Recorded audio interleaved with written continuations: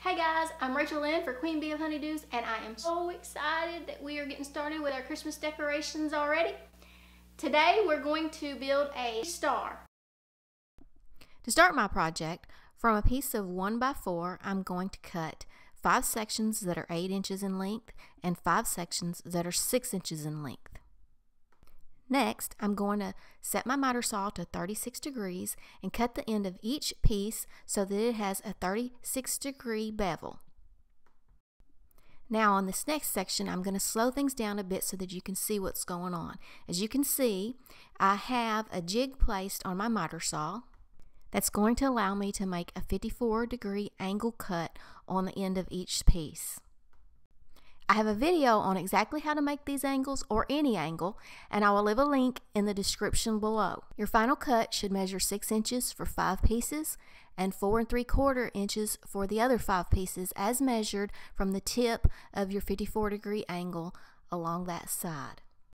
To assemble your star, first Divide your pieces into two piles, one for the long side and one for the short side. Then begin to attach one short side to one long side at the 36 degree miter cut.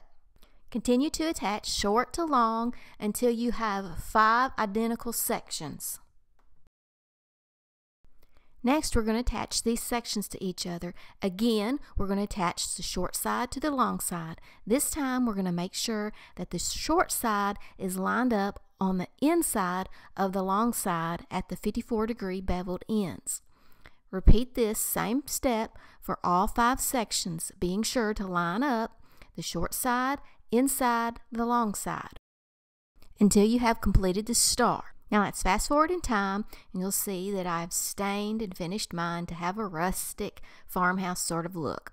I'm going to add a little ornament to the inside of mine just for a little something extra. I'm using wood glue because that seems to be the only way to get up in that corner. It's just too tight of a space to maneuver to get a hook or anything in there. So just use some wood glue. Make sure your ribbon is perfectly straight.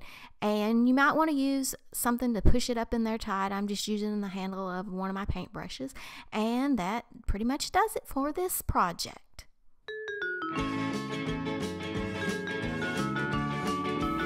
Well, thanks for tuning in again for another DIY. Leave a comment or a question below. I love to hear from you, and I'll get back to everyone.